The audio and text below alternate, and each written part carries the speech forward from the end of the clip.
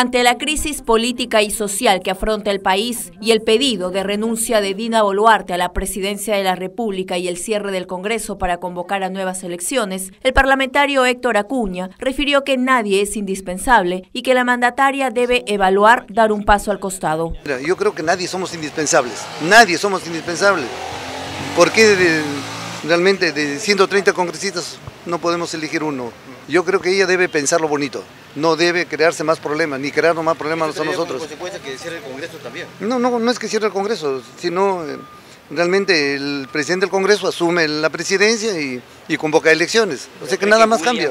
En otro tema, el congresista liberteño lamentó el cambio de sede para el desarrollo del 63 concurso nacional y mundial de marinera, cuando presentó un proyecto de ley para que este evento sea público. ¿Qué le parece que ahora el concurso se ha ido al límite? Mal, mal, porque realmente debemos hacer la forma de coordinar, conversar para que hay tantas formas ¿no? de resolver temas. ha, sido considerado por un decreto supremo, por un decreto ley, y eso ayuda para que el crecimiento, es una marca ya que tenemos.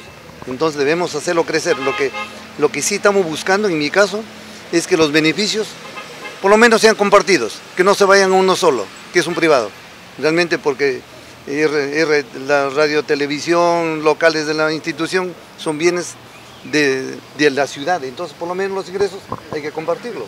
Pero no hay que perder el interés en que esto siga mejorando. Respecto a la investigación que realicen los procesos de concesión de inmuebles de la beneficencia de Trujillo, refirió que hay varios bienes que se deben recuperar. Para ello se reunió con el alcalde provincial de Trujillo, Arturo Fernández.